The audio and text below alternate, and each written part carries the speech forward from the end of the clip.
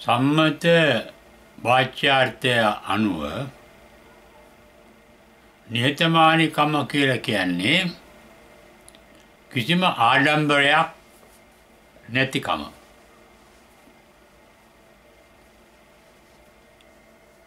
ආඩම්බරයක් කියලා කියන්නේ තමන් අනිත් අයට වඩා උසස් කියලා හිතන එක යම් යම් ආකාරයක. මං ඒගොල්ලන්ට වඩා කුලවත් මං ඒ අයට වඩා ධනවත් මං ඒ අයට වඩා උගත් මං ඒ අයට වඩා ලස්සනයි කියලා තමාගේ සම්පත් පිළිබඳව තමාගේ පුළුවන්කාරකම් ගැන ආඩම්බර වෙන එක. තමා මාන්‍යය කියලා කියන්නේ නේතමානිකම කියන්නේ එහෙම ආඩම්බරයක් නැතිකම. ඒ තුළ තියෙනවා සමානාත්මතාවය. එකක් ඒගොල්ලොත් මං මගේ නේද කියලා හිතෙන ගතිය. ඒ විතරක් නෙවෙයි ඒ නේතමානිකම තුළ තියෙන්නේ මං යම් යම් දේවල්වලට උසස් වුණාට මට වඩා ඒ හැම කෙනෙක්ම කිසියම් දෙයකින් උසස්. උදාහරණයක් වශයෙන් ගත්තොත් මට පොල් ගස් නගින්න බෑ එයාට පොල් ගස් නගින්න පුළුවන්. කියන්නේ මට බැරි දේවල් කරන හුඟ දෙනෙක් ඉන්නවා. ඒ හින්දා අනිත්ට නැති මට තියෙන දේවල් ගැන හිතන්නේ නැතුව මට නැති අනිත්‍යය ගැන තියෙන දේවල් ගැන හිතෙනකොටත් අර මාන්නය අඩු වෙනවා. ඒ වගේම කවුරුත් එක වගේනේ කියලා හිතනකොට එතන සමානාත්මතාවයක් තියෙනවා කියලා කියන්නේ මං උසස්සේ මං පහත් අරයා පහත්ය කියලා හිතන්නේ නැති ගතිය. වාචාර්ථය උඩ නේතමානිකම කියන්නේ මේ වගේ ආඩම්බරයක් නැතිකම බුද්ධච්චකමක් නැතිකම කියලා කිව්වට ධර්මය අනුව නියම නිහතමානිකම තියෙන්නේ රාහත් වුණාට පස්සේ.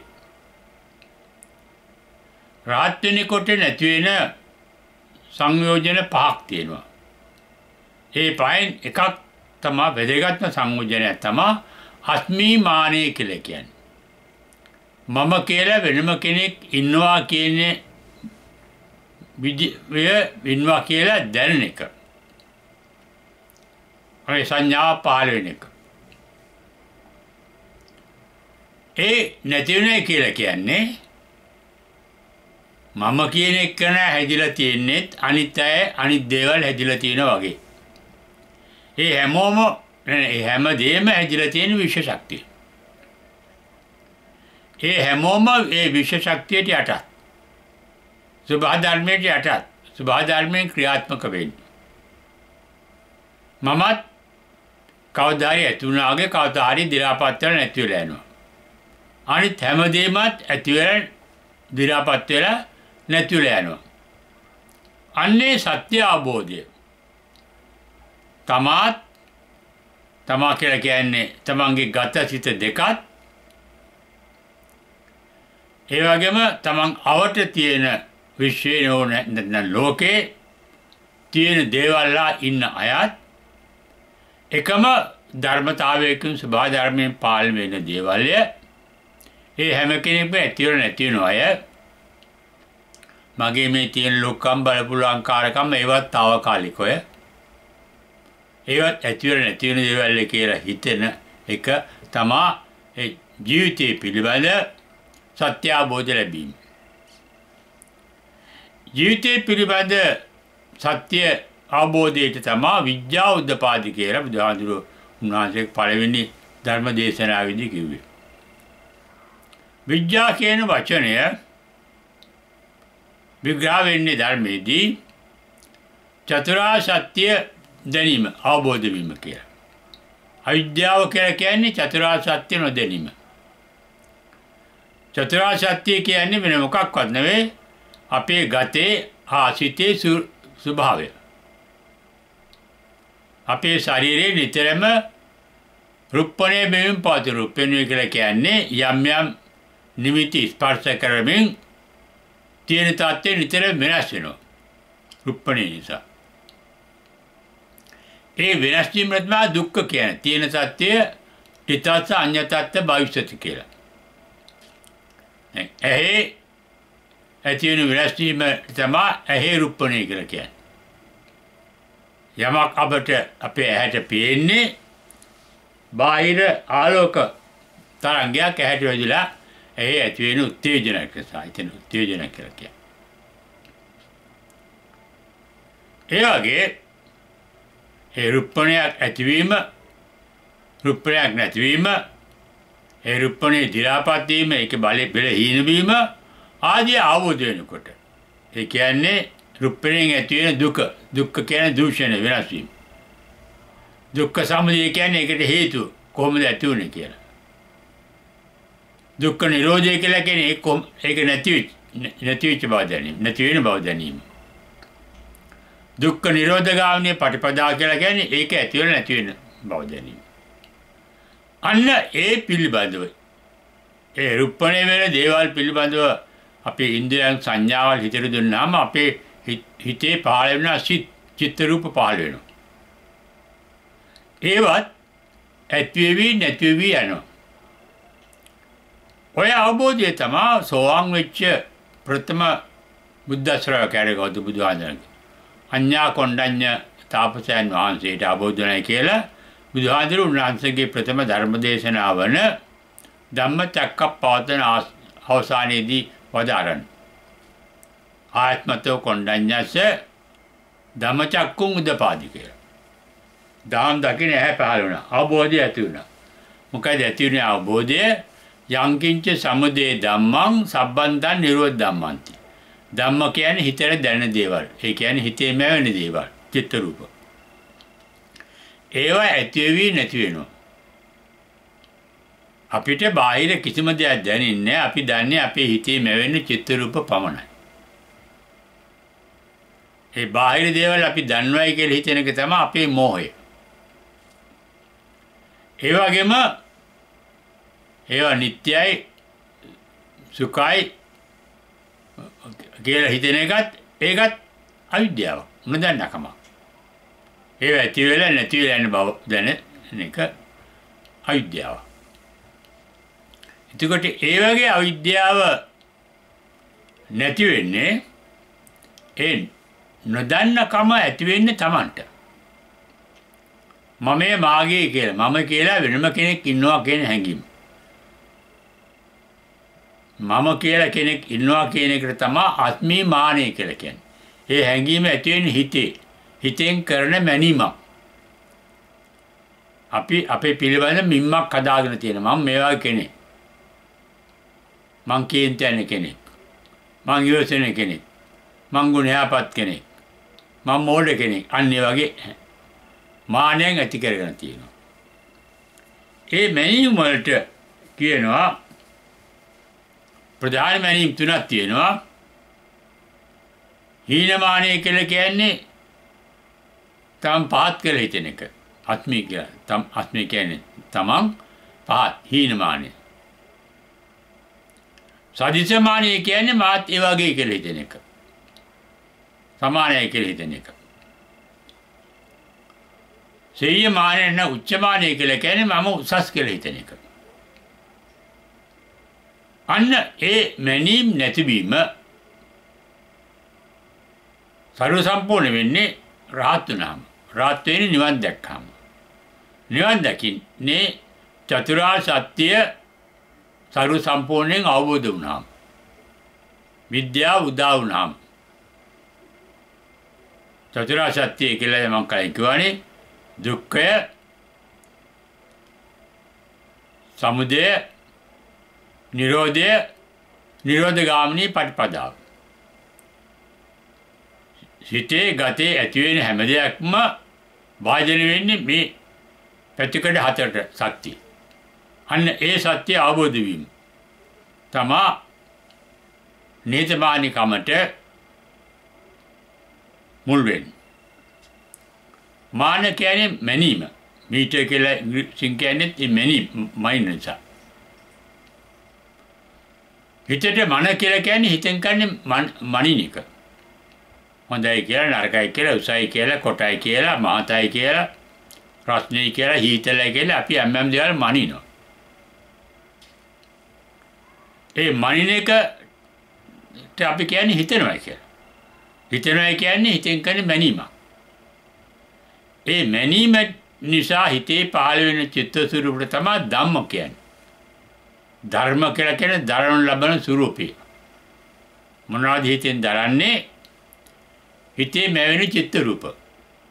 ඒ චිත්ත රූප කියන්නේ මායාවක්. ඒවා හරියට අපි කණ්ණාඩියක් ඉස්සරහට ගියාම කණ්ණාඩිය ඇස්සේ අපි ඉන්නවාගේ දැනෙනවා. ඒ වුණාට ඒක මායාවක්. අපි නෑ කණ්ණාඩිය ඇස්සේ. හැබැයි අපි වගේම කෙනෙක් කණ්ණාඩිය ඇස්සේ ඉන්න බවයි අපිට දැනෙන්නේ. අන්න ඒ වගේ අප ගැනත් අපාවට ලෝකය ගැනත් අපේ ගත ගැනත් අපේ හිත ගැනත් ඇත්ත තත්ත්වය අවබෝධ වීමට තමා විද්‍යා උදපාදි කියලා කිව්වේ. අන්න ඒ අවබෝධය සමග තමා ආලෝක උදපාදි කියන ආලෝක උදාව වුණා. ඒ තත්ත්වයට හිතපත් වෙන්නේ දැනගන්න පුළුවන් වෙන්නේ පඤ්ඤා උදපාදි. ප්‍රඥාව උද උදා වුණා. ප්‍රඥාව කියන්නේ නුවණ. නුවණ කියන්නේ ඥානය ඉක්මවා ගිය තත්වයක්. ඥානය කියන්නේ ඉන්ද්‍රියන්ට දැනෙන දේවල් වලට. දන්න දේවල්. දැනගත් දේවල්. ඒවා ඥානයේ අයිති අතීතයට. ඒ අතීත ඥාන කියන මතක තටාන් උඩ තමයි අපි යමක් අඳුනගන්නේ. ඒ අඳුනගන්නේ අතීත අත්දැකීම් උඩ. ප්‍රඥාවදී ඒකේ සැබෑ තත්ත්වේ පේන්න පටන් ගන්නවා. ඇත්ත දකින්නවා. නුවණ කියලා කියන්නේ ඒකයි. යථාර්ථ අවබෝධය ඇති වෙනවා. ඒක නිසා සැබෑ නිහතමානිකම රහත් වුණාම ඇති වෙන චිත්ත තත්වයක්. ඒ හිත හිතන්නේ නැහැ. හිතනවා කියන්නේ චිත්ත රූප මවනවා. ඒ චිත්ත රූප මවන එකට තමයි සංකාර කියලා කියන්නේ. බුදුහාඳුරු බුදු වෙලා නගාපු පළවෙනි උදානයේදී ප්‍රකාශ කරනවා විසංකාර ගතං චිත්තං කියලා. මම බුදු වෙච්ච වෙලාවේ චිත්ත රූප පහළ වෙන්න එක නතර වුණා. හිතන්නේ නැති එක. මනින්නේ නැහැ හිත මොකක්වත්. නිහතමානී වුණා කියන එක. ඒ තත්ත්වය ඇති වෙන්නේ මොකද්ද? මේ හිතේ ඇති කරන හැම මිම්මක්ම ඇති වෙලා නැති වෙනවා. ඒ කියන්නේ හැම චිත්ත රූපයක්ම. අනිච්චාවත සංඛාරා උපාදවය ධම්මිනෝ උපජ්ජිත්වා නිරුද්ධಂತಿ තේසං භූප සමෝ සුඛෝ කියලා කියන්නේ නිවන් දකින්න එක තමයි පරම සැපය. මොකද්ද නිවන් දකින්න කියන්නේ? චිත්ත රූප මැවෙන එක නතර වෙන එක. චිත්ත රූප මැවෙන එකට තමයි අපි හිතනවා කියලා කියන්නේ. හිතෙන එක නතර වීම තමයි දුක්ඛ නිරෝධී කියලා බුදුහාමුදුර හැඳින්වුවේ. ධම්මචක්ක පාතන සූත්‍රයේදී දුක්ඛ විග්‍රහ කරනකොට උදාහරණ දක්වලා ජාපි දුක්ඛා ජරාපි දුක්ඛා ජාතිපි දුක්ඛා මරණම්පි දුක්ඛා ව්‍යාධිපි දුක්ඛා ආදී වශයෙන් ඒ ඇති වෙන වෙනස්කම් දූෂණයන් දක්වලා අන්තිමට කියනවා මේ හැම දෙයක්ම ඇති වෙන්නේ අපේ හිතේ ඒ නිසා කෙටින්ම කියනවා නම් හිත්ම වෙන එක. සංකිට්ඨේන පංච උපාදානස්කන්ධා දුක්ඛ. උපාදානස්කන්ධයක් කියන්නේ හිත හිතක් නිර්මාණය කරන ස්කන්ධ පහක්. ගොඩවල් පහක්. මෙතන ගොඩවල් කියන්නේ සංසිද්ධි පහක්. සංසිද්ධි පහක් කියන්නේ කම්පන පහක්. තරංග පහක්. රුප්ප රූපණය කියන්නේ රුප්පති කියන්නේ ඉන්ද්‍රියක් ඊට අදාළ නිමිත්තක් එක ගැටලා උත්තේජන වෙන එක. ඇහැට රූප පේනවා, කන්ට සද්ද ඇහෙනවා, නායට ගන්සුන් දැනෙනවා, ශරීරේ ස්පර්ශ දැනෙනවා, හිතට අදහස් දැනෙනවා. අන්න එතකොට ඇති වෙන වෙනස්කම් වලට තමයි රුප්පණය කියලා කියන්නේ. වේදනා කියන්නේ ඒ නිසා ඒ ස්පර්ශ නිසා ඇති වෙන උත්තේජනයට රත් වීමට. ආලෝකයේ වැදුනත් ඒකත් උෂ්ණ තරංගයක්. ඒවත් ඉලෙක්ට්‍රෝන වල හැදෙන්නේ. කම්පන වල හැදෙන්නේ.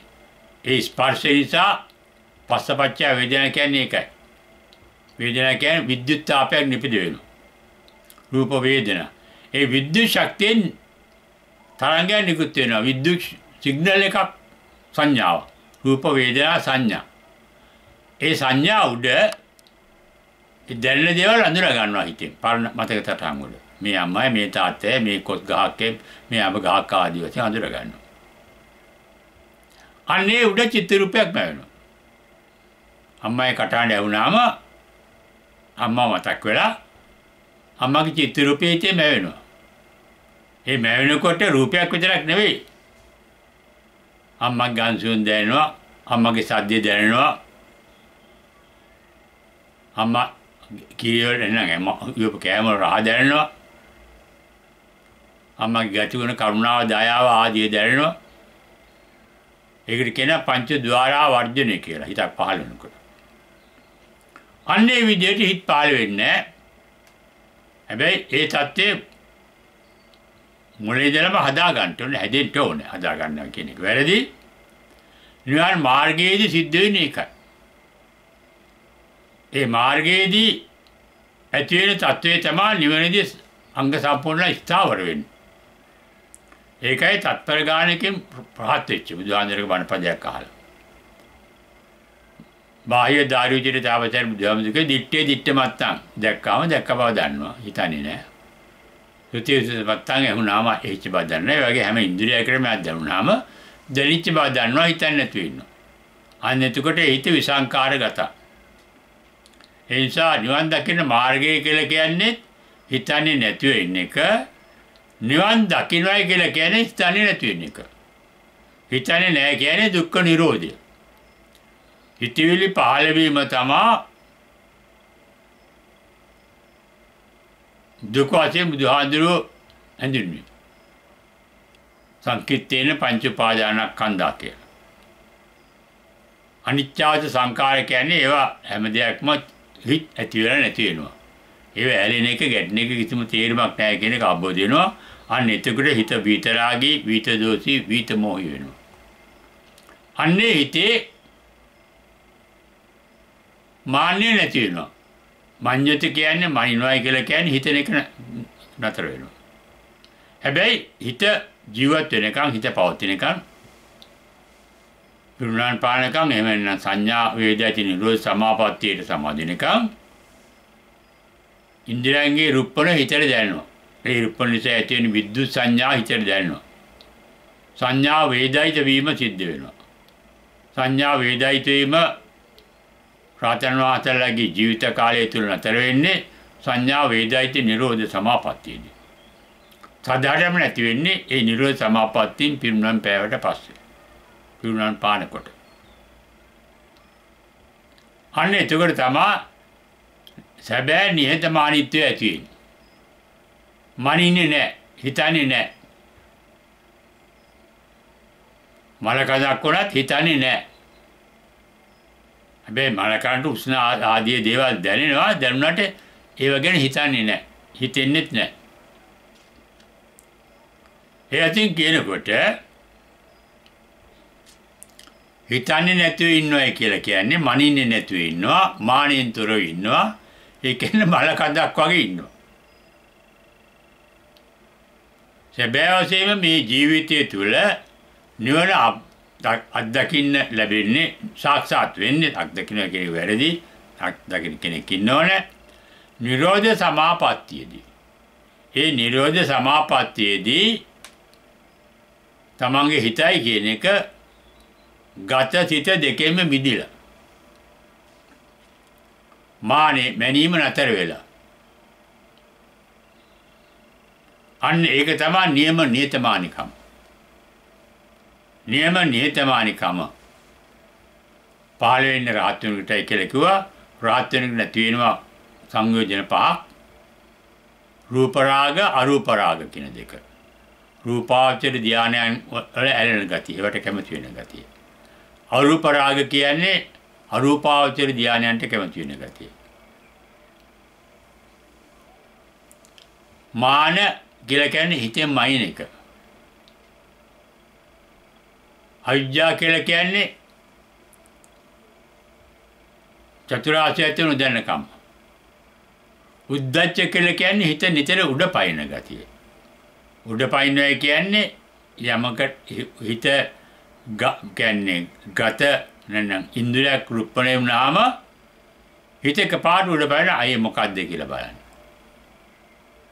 ඇහැට ඡායාවක් වටනාම කන්ට සද්දයක් ඇති වුණා ඒ මොකද්ද ඒ කවුද කියලා අර හිත උඩ පැනලා හිතන ගතිය. ඒකට උද්දච්ච. එයින් පේන්නේ ඒ නිවන් දකින්නකොට අර හිතට දැනන ගතියක් නැති වෙනවා. දැනගන්න හිත උඩ පැනලා දැනගන්න එකනේ. එහෙම දැනෙන්නෙත් නැහැ. දැනෙන්නේ නැති හින්දා හිතන්නෙත් නැහැ. අන්න ඒකට තමයි දුක්ඛ නිරෝධය කියලා කියන්නේ. ඇති වෙන වෙනස්කම් නැති වෙන එකට. ඒ වෙනස්කම් දැනෙන එකට තමයි මානෙ කියලා කියන්නේ. ඒ ධර්මාර්ථය මම කලින් කිව්වා අපි මාන්නේ කියන මානක්කාරකම කියලා කියන්නේ ආඩම්බරයට කියලා. ඒක සම්මුති අර්ථය. මම මේක දේශනා කළේ බුද්ධ ධර්මයේ උඩ නිහතමානිකම කියන්නේ මොකක්ද කියන එක පැහැදිලි කිරීමයි මේ කළේ. ඒ නිහතමානිකම තමයි ආත්මීමානය නැතිවීමත් එක්ක සිද්ධ වෙන්නේ. ඒ මානෙ තමයි රහත් වෙනකොට නැති වෙන්නේ. මනින්නේ නැහැ කියන්නේ හිතන්නේ නැහැ.